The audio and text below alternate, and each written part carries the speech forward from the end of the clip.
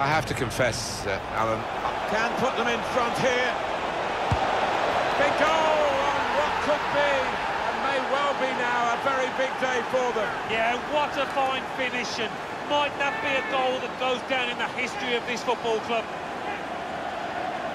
well, this is what you call leading from the front. A strike from the skipper. Yeah, he's popped up at a very good moment there. Is Alan McInally with a goal to tell us about Alan. It's a goal for the visitors. 24 minutes played, 1-0. We're back here. Messi! And now they're two up with another fine piece of attacking play. Typical, really, of the work of the players and the effort that they put in on the training ground. The manager's got terrific belief in attacking football, and he must be thrilled, probably beyond even his wildest dreams. They attack, they score, they attack. The build-up is patient. It could be a chance. Uh-oh, there's a warning to them. They've conceded here. Bit of complacency, maybe. You can see that coming. They've stepped off it. They've been conceding too much space to the opposition. That's going to change.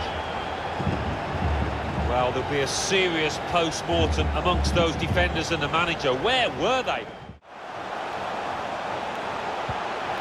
Still searching for an... Oh, great chance. That's a terrible moment for them. The title was in their hands. Are they letting it slip, Alan? Disastrous. But we'll all be looking now to see how they react. Have they got the bottle, the mettle to turn this around? If you thought that the favoured team scoring would kill them off, you'd be wrong. They've roared again. Yeah, it's great to see, isn't it, a team like... Oh, dear. I feel for them, Alan.